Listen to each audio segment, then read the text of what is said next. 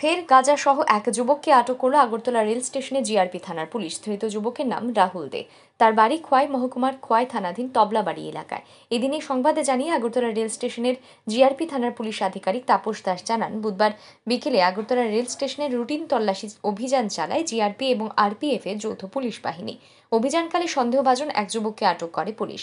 তাকে তল্লাশি চালিয়ে পুলিশ একচল্লিশ কিলো গাঁজা উদ্ধার করে। ধৃত যুবক আগরতলা থেকে গাঁজা নিয়ে শিলচরে ট্রেনে করে বহিরাজ্যে যাচ্ছিল। এদিন জিআরপি থানার ওসি তাপস দাস জানান ধৃত যুবককে পুলিশ রিমান্ডের আবেদন জানিয়ে বৃহস্পতিবার আদালতে তোলা হবে। বিকালে আমরা একজনকে আহ, গ্রেপ্তার করেছি।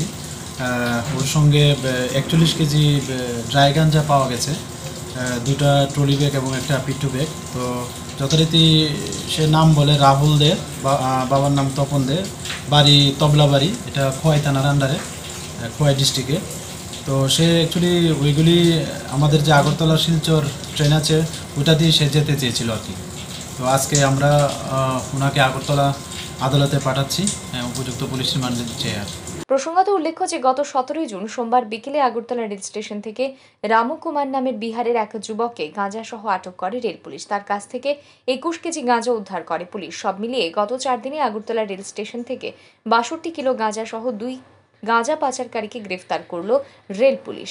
Bureau report R E news.